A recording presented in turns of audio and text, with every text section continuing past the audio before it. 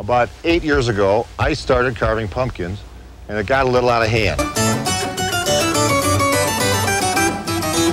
Most people make an elemental mistake. The pumpkin is a great, big, huge piece of God's creation, and they want a great, big, huge knife. Something that you could probably win the Peloponnesian Wars with. Some people would rather slaughter a cow than take the insides out of a pumpkin. I use an old spoon with a wood handle, a nice stiff shaft. It works a lot better than putting your hands inside and getting all gunked up. It's not necessary.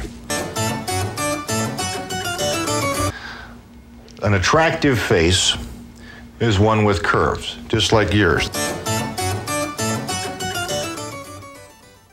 For little kids, like my pal Lindsay here, I recommend the pumpkin cutter.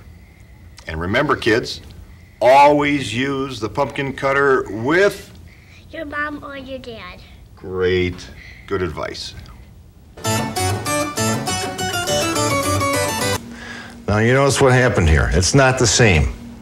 Sometimes that doesn't make a difference. Every human being has eyebrows. Unless you're one of these high fashion gals, but we'll pretend that you're normal and we'll give you a couple of eyebrows. We have another pumpkin that we've already marked with my favorite Halloween face. This face I started doing when I was a teenager and I sort of adapted it, but it stayed the same for a long time and it seems to be everybody's favorite Halloween face. We won't draw this guy on. I've carved this face a number of times. This is as good as any. This is the best side of the pumpkin. The back side here was the side that was growing on the ground.